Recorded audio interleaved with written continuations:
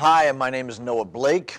Um, I have been a professional actor and director and teacher and coach for the past 25 years.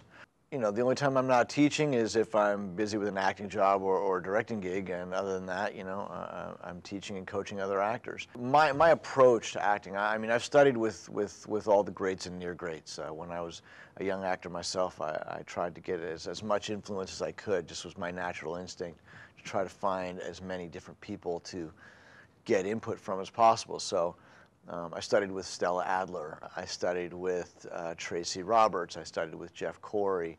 Um, I studied with Kim Stanley. Lots of different teachers. And I got a lot out of all of them. I, I, I studied improv and worked uh, in a performance group that we did two shows a night, two shows a week uh, at a club here in town. Um, so and when you're doing improv and you have to perform in front of a paying audience, it takes it to a whole nother level and you really have to get your game up. Because I am still uh, an actor and a director, I think I have a, a, an insight to that that maybe some others don't.